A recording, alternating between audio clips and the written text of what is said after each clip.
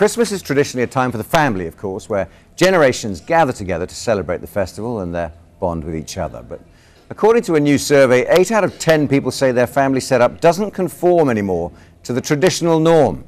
The Centre for the Modern Family now claims only 16% of the population think of themselves as parents with 2.4 children, which might explain why the Deputy Prime Minister, Nick Clegg, has been mocking what he calls the Tory 1950s view of the family why the Archbishop of Canterbury suggested it's fine for Christmas to be chaotic.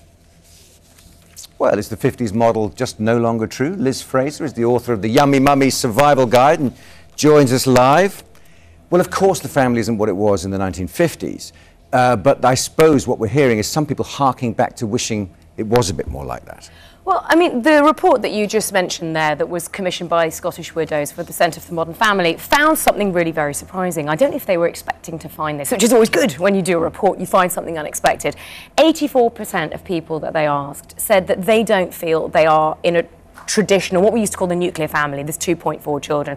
Now, when you get a statistic like that, and they did ask 3,000 people across all different backgrounds, geographical areas, ages, sexes, religious backgrounds, all sorts of things, when you get a statistic like that, you do have to stop and ask, how are people living in families now? And, and you know, for better or for worse, and that's a whole other issue we're not living as we did once. And the fact is that families are just changing. And, and, there are so many families now which have, you know, they're separated families, so the new families have come in. You've got people at home now preparing for Christmas with half siblings and stepchildren and second marriages. It's very, very complicated. Um, and Christmas is supposed to be this time where we all come together as families, which I have to say I find is, is quite a an odd idea anyway, isn't it? Because we don't choose your family.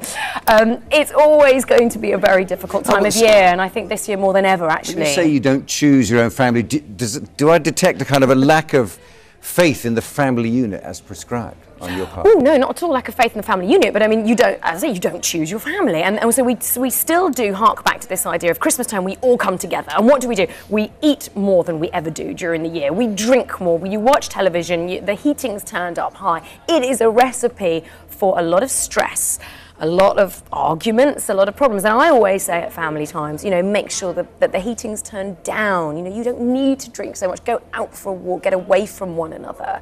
And then when you are together for short periods of time, it can be, you know, much more enjoyable. But families are unquestionably very, very different now to how they were, you know, even when I was growing up 30 years ago. I can't think of a single person in my class at school whose parents were not still, who, who, who, didn't live with both of their biological parents. Whereas now, I've got three children, two at secondary, one at primary.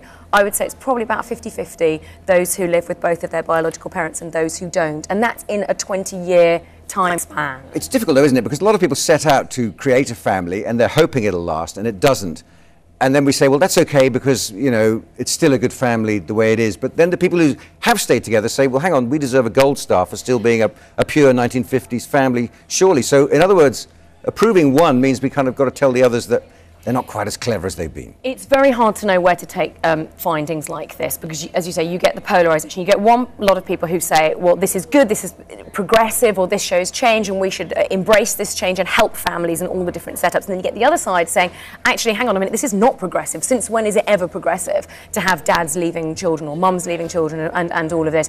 Nobody sets out, as you said, nobody sets out to have their family fail. Everybody wants to raise their children, or, or whether they don't have children, perhaps they want to live in some sort of supportive, loving structure. That can be a gay parents, that can be mixed race parents. It doesn't matter. I would argue that it doesn't matter at all. The form of the family doesn't matter because the function remains the same, which is that you have a support network and love and respect for one another. But the fact is that if it doesn't work, it doesn't work. And um, there are many uh, child experts who say that a good divorce is better than a terrible marriage for, for children to be living in main thing at Christmas is just to give everybody space, bit of space. So yeah, the moral is at least relax over the next we couple of days. It's just Christmas, just relax. Liz Fraser, we could talk for hours on this. We Thanks could. so much indeed uh, for you. coming in and talking to us tonight.